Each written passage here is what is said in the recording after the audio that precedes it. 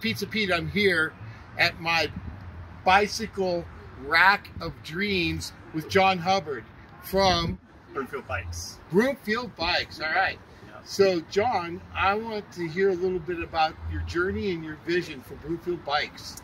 Yeah, uh, I love seeing people come out and get together. Uh, I think about how when I'm in a car, I feel isolated and I don't want to see anyone else on the road with me. But when I'm out on a bike, uh, it's a different experience. I out in nature, feel the open air, and, and love seeing other people join me on the trail. So there's a real sense of community there.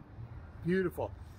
So there's a there's a really cool thing coming up next Tuesday, uh, the 30th of July. Is that right? That is correct. All right. And I put a challenge out, and I told John if he could get together enough people to fill our bike rack, go ahead and pan that bike rack and show the fans, and how many all the way end to end. Yep. That is, I think, 27 spaces. So there's got to be 27 cyclists come. John's accepted the challenge, and those 27 cyclists are going to get free iPie next Tuesday, July 30th. Yep. We're going to meet at Paul Derda Rec Center at 5 p.m. for the group ride.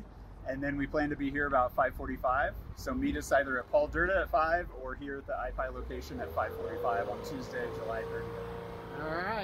All right. Well, thanks so much, John. Yeah. Looking forward to it. So are we. Challenge accepted. All right.